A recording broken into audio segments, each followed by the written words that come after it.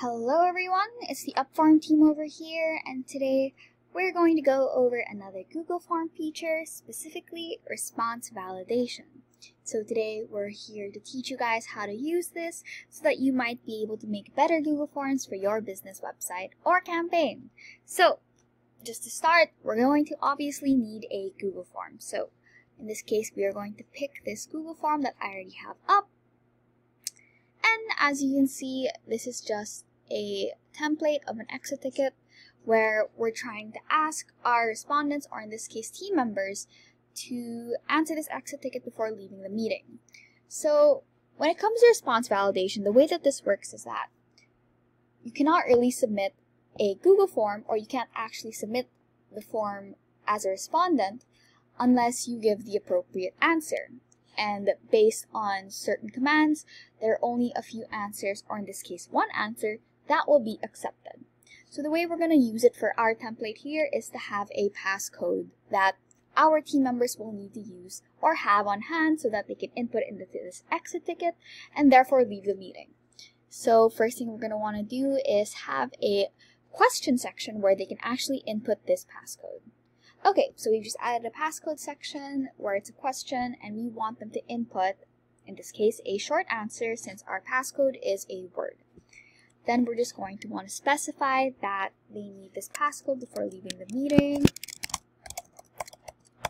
Input the passcode below. Oh, exit this meeting. Now, as you can see, we also want to require this since they need this to actually complete the survey. And from here, now it's just a matter of actually using the response validation. Okay, so at the bottom right corner of every question sec section, there is a three dot button, which you, once you've clicked it, will give you a drop down menu. Here we want to see the response validation button. We just hit that. And as you can see, a little section will now appear right below the section where your answer will be added. So in this case, we want their short answer text to follow certain requirements. So in this case, we want it to be actual text, not a number, not a length or a regular expression. We want them to say a word. And we want it to contain our corresponding passcode. But as you saw from this drop-down menu, it can actually contain many things. It can contain, it can actually contain or it might not contain this word. It can be an email, URL, but just for this case, we're going to make it something simple. Let's just make the passcode lemonade. Now, for the last section, which is the custom error text, this is where you will be inputting a specific message that will appear if they get the passcode wrong. So, got it wrong, please check with your team leader for the passcode. So if someone answering the response form were to get this wrong, this message should appear right somewhere in this question. And that's about it for response validation. That's all you really have to do to get the question going. Now let's just take a look at it to see what a respondent would see from their end by going to the preview version of this exit ticket. So go to the right corner, hit eye button, which once you hover over it should read out preview.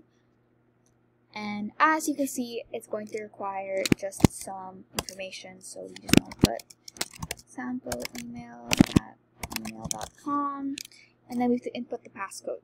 So if we were to get it wrong, because we want to get it wrong the first time, just so we show you what it looks like, let's say we thought it was lemon.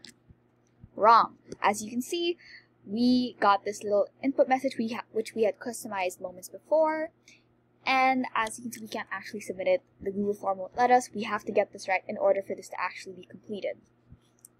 And if you were to get it correct, on the other hand, as you can see, we input the text again, it actually allows us to submit the form and we've actually finished answering it. And that's all you really have to say about response validation. Hopefully you can use it for your own business and your maybe your own meetings as well. Hopefully this also helps you get a better idea of how to use Google Forms to its maximum capacity. Be sure to like and subscribe this video, and if you need any more help when it comes to Google Forms or anything that you might need in terms of marketing and business tools, be sure to check out the rest of our channel, either using the link in the upper right corner of this video or any of the links below.